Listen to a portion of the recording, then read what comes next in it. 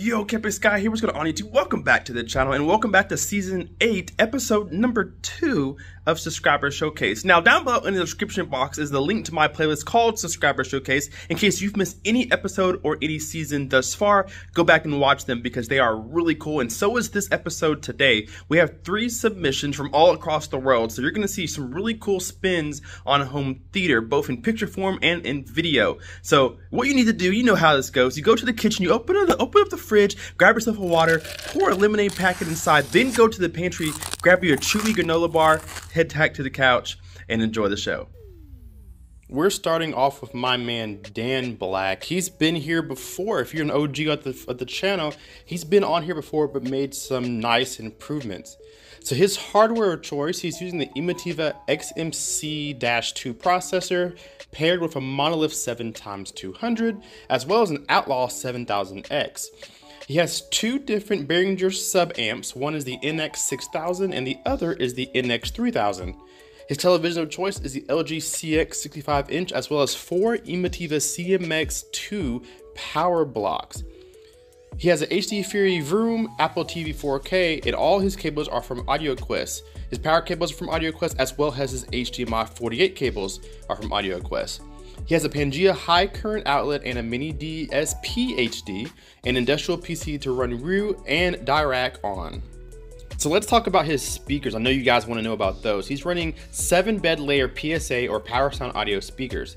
He has two PSA MTM 210s, MTM meaning mid-range, tweeter mid-range. He has one PSA MTM 210C, that's his center channel, He's also running four PSA MT110Ms and four Atmos speakers that are called JBL Arenas. He has three 18-inch Dayton Audio Ultimax UM822 subs in a custom-built box, each in a room about 24 by 24 by 38 with a port tuning of 10 hertz. Now Dan Black's pretty crafty too. He says his whole room is fully insulated. His acoustic panels are also hand built and use safe and sound Rockwool in them, 15 inches in total. His corner bass traps are from Acoustic America and all his speaker stands are hand built as well as the entertainment stand. He hand built that himself. He has three La-Z-Boy seating as well and he says thanks for letting us show off our systems. Love all your content brother. Thank you so much man. Thanks for the submission. I love it as well.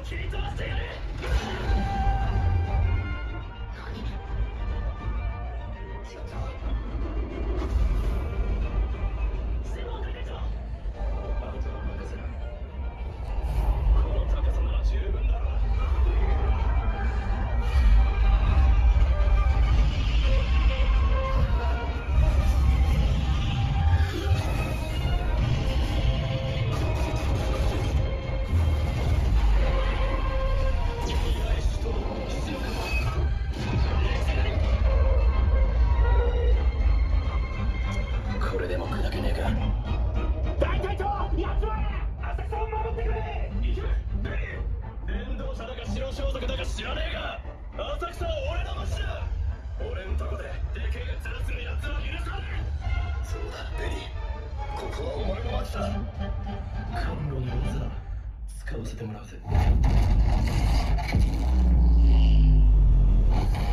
guys, welcome to my home theater here.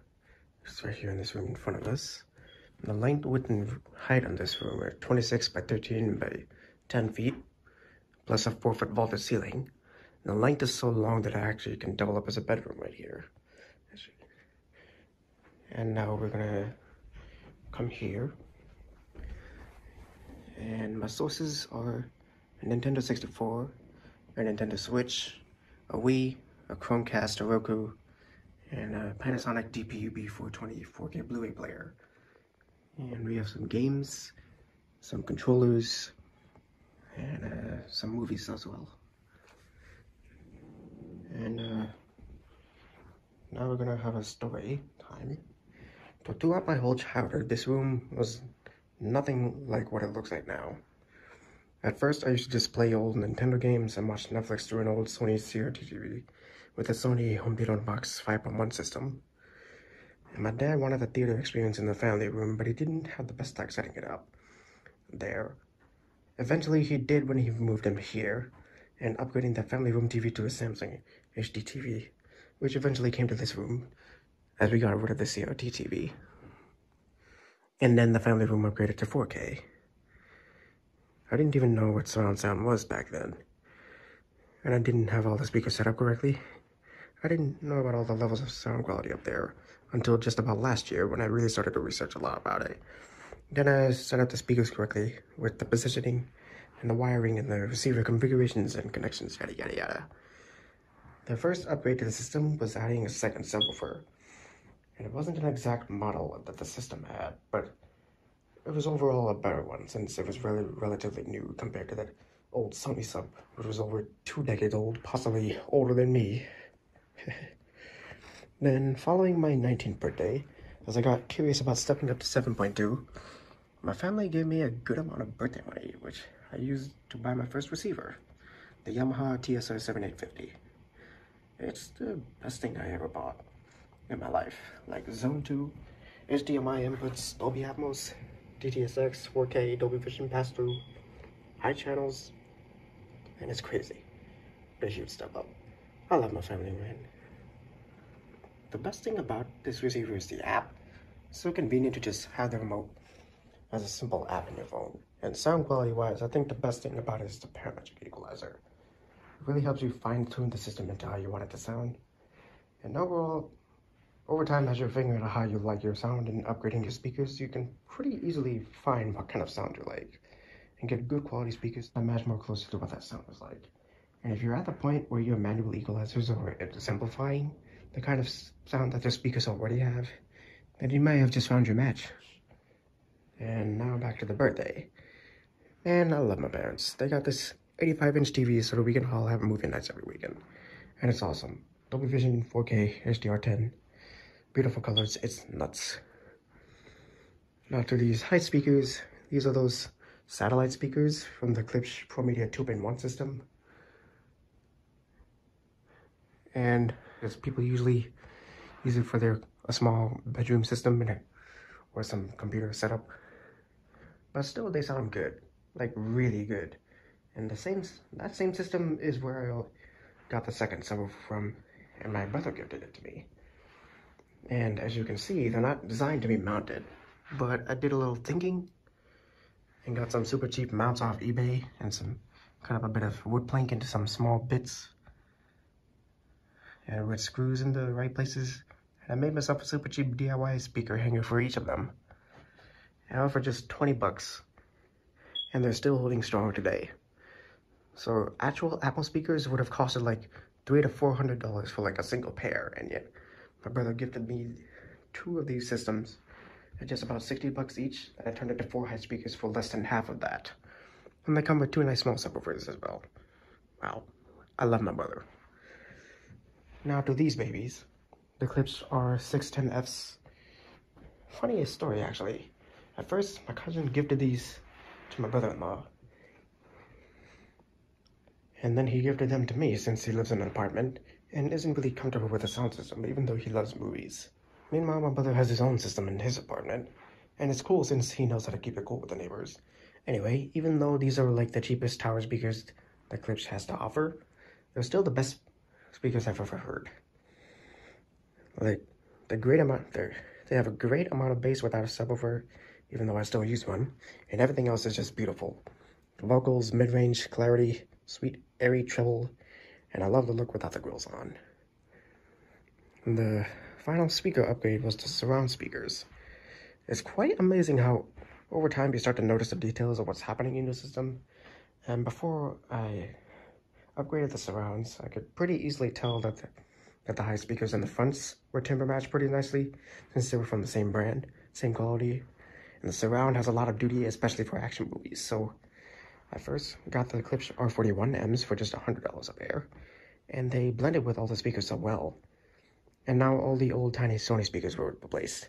Then when I finally landed a job, thanks Dad, I was able to find these RP150Ms for just $200 a pair. And the RP600Ms for 250 a pair. And I had a chance to compare everything. And though I do think they're worth the extra $100, it turns out, between all the combinations I've tested out, I, I actually prefer the timbre match of the 150s with the reference towers compared to the 600Ms, even though the towers and the bookshelves are from different lineups. Quite odd, I know, but hey. live and learn. Then I sent the 600Ms and the R41Ms over to my brother for fronts and surrounds. And it was definitely an upgrade for him as well, and he loves them. Happy early Thanksgiving, bro.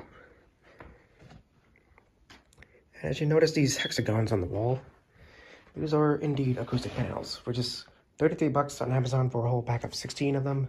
So for just 2 bucks a piece, I cleared up the high mid-range and treble and made the imaging more precise. And luckily for me, that's all I really wanted.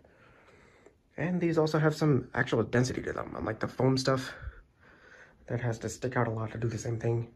Yeah, the ceiling is so, and if the ceiling is so high and vaulted, that upward bouncing Atmos speakers that upward bouncing Atmos speakers are just a no-bueno, then generally speaking, I don't really have to treat the ceiling. Plus, I do like a tall soundstage, and pretty much the whole floor is like a carpet, so that's nice. And now for the subwoofer upgrades. Here is a 12-inch sub, the first subwoofer I ever actually bought in my life. The Klipsch R112SW. And before I got my job at first, it was really hard to find an affordable sub within my budget that would fill the needs of a big bass head like me in a 4,000 cubic foot room like this. But at just 349 on Crutchfield, I really could not ask for anything better than this. Thing's a menace. I got chills rewatching a bunch of movies and listening to music with this. And feeling and hearing details I'd never felt before. It blended it with everything so well, I could not believe what I was hearing. Then after I got a job, I got this little beast the Mini DSP 2x4. This is just a cheaper non-HD version, and it's a game changer to just be able to time and align all your stuff together and fine-tune everything. And with that, I also got a second subwoofer, and it's matching this time, and some butt kickers under the couch, and two other subwoofers up front. Now about these butt kickers, they are something else, man. If you love the tactile feel of subwoofers, but don't want to turn them up so loud to get that same feeling, you just gotta get some butt kickers. They're way cheaper than getting a new sub, and much more efficient. And if you notice right here is that small subwoofer from that Pro Media system. And there is another one. And there's another one on this side. And I actually disconnected the drivers and connected the plate amps to the butt kickers and each amp is powering two of them in series. So there's four butt kickers in total, and I saved quite a bit of money since I don't even need to buy separate amps for them. Thanks again, Bo. And now to these bad boys, the BIC PL300s. Best bang for your buck for just $4.49 a piece. And as I was studying my room's acoustics, I noticed that deeper bass sounds better farther away from the subs, and mid bass is better when closer to the subs.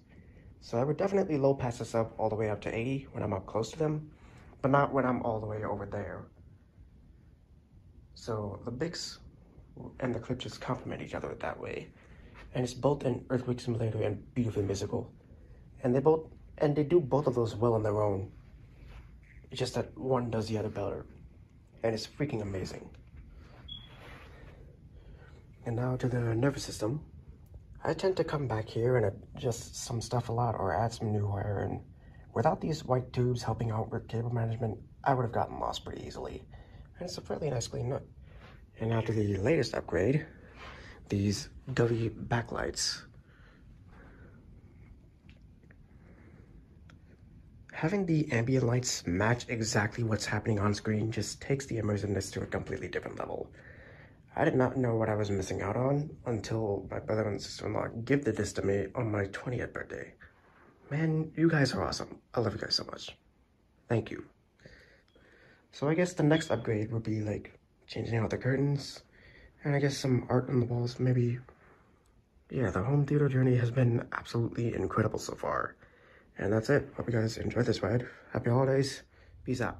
All right, guys, that's going to do it for episode number two of Subscriber Showcase. Thank you so much to the three submitters we had for today's episode. We have lots more coming and it only gets better as we go. So if you want to enter into something like this, it's not too late. My email is kpaceguy at gmail.com or send it to my Facebook at Kyle Pace and Instagram at kpaceguy. However you want to get it to me, Dropbox, WeTransfer. I am more than happy to put you on the channel because we still have a few more episodes to do, so I have time to throw you in. So if you like what you see and you want to put your, your your system on the channel, feel free to send me some stuff. I'll be more than happy to do that. Thank you guys so much for watching. Hit that like button and subscribe if you are not already. We will see you guys in the next video. K-Pace Guy out. Peace. Say I lost my mind, I will keep on holding my head high Even if the sky is falling down